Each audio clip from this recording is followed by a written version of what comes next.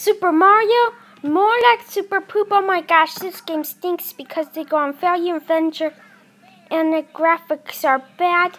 Do you know what like this game? Super cool kid. Do you know what hate this game? Luna. So, Super Mario stinks, and so does The Simpsons. Earth to Luna's one million times better. End of rant. Oh no, super cool kid and super cool kid, yes, rotten fish, no. Oh my gosh, Baby Show rocks UTTP. How dare you rant on Super Mario? That's it. You are grounded, grounded, grounded forever. Go upstairs to your room right now with